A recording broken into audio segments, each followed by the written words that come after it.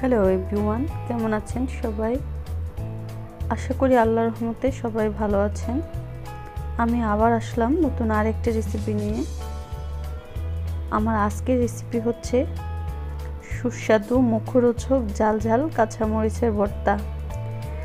আশা করি আপনাদের এই মজাদার কাঁচামরিচের ভর্তা রেসিপিটি ভালো লাগবে। যদি ভালো লেগে থাকে তাহলে অবশ্যই আমার চ্যানেলটিকে সাবস্ক্রাইব করবেন। এবং পাশে থাকা বেল আইকনটি প্রেস করবেন। তো চলুন দেখে নিই এই ভর্তা রেসিপিটি প্রথমে আমি একটা প্রাইফেন বসিয়ে এর মধ্যে এক টেবিল চামচের মতো সরিষার তেল দিয়ে দিলাম। সরিষার তেলটা একটু গরম হলে আমি এখানে আগে ধুয়ে, ফালি করে হাফ কাপের মতো কাঁচামরিচ রেখেছি।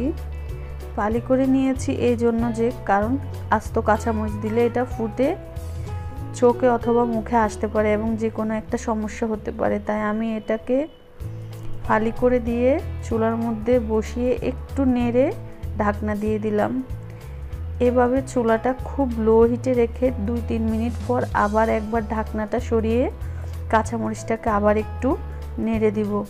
কাঁচামরিচ সিদ্ধ হতে সময় বেশি লাগে না, পাঁচ মিনিটের মধ্যে হয়ে যায়। পুনরায় আমি ঢাকনাটা সরিয়ে আবার কাঁচামরিচটাকে একটু নেড়ে দিব। এর মধ্যে আমার কাঁচামরিচটা সম্পূর্ণভাবে সিদ্ধ হয়ে এসেছে। এখন আমি এটাকে একটা একটা প্লেটের মধ্যে নামিয়ে নিব। এখন আমি ফ্রাই প্যানের মধ্যে প্রায় দশ কোষের মতো রসুন নিয়ে এটাকে ধুয়ে ভালো করে পরিষ্কার করে কুচি করে নিয়েছি।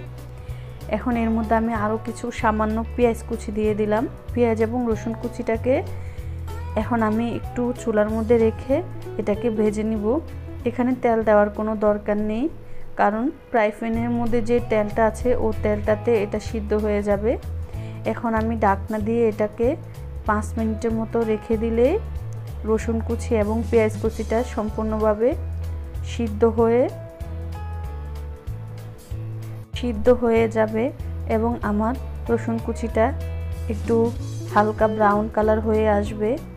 যখনই ঠিক এই কালারটা ধারণ করবে, তখনই রসুনটাকে আমি নামিয়ে নিব।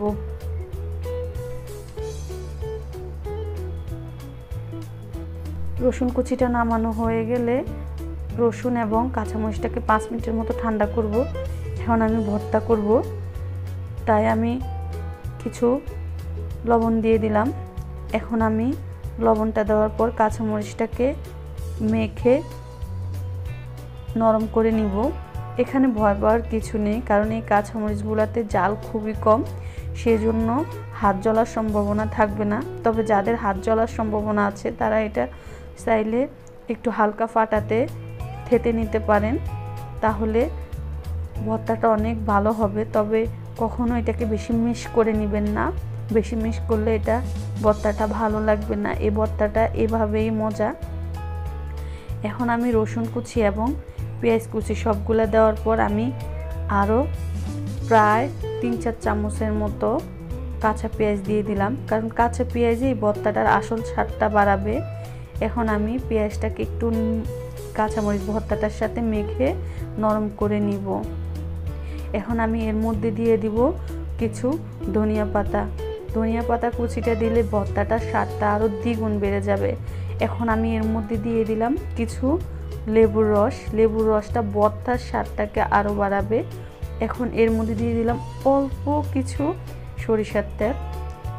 এখন সবগুলো উপকরণ দিয়ে আমি একটু ভালোভাবে মেখে ভর্তাটাকে নরম করে নিব।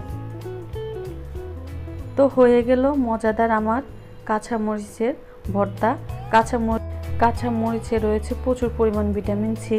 তাই এই ভর্তাটা একবার হলেও ট্রাই করবেন। আশা করি খারাপ লাগবে না। তাহলে সবাই ভালো থাকবেন। আল্লাহ হাফেজ।